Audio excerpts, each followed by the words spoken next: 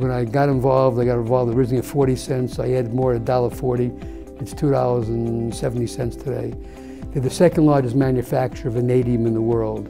Vanadium is an alloy used to strengthen steel and used to strengthen the electric grid. Vanadium is in short supply these days. It was $4 a pound a year ago. It's $19 a pound today. And experts that I've employed tell me it's going to $25 a pound. These guys are coining money, the stock is very mispriced. But it's speculative, it's one commodity.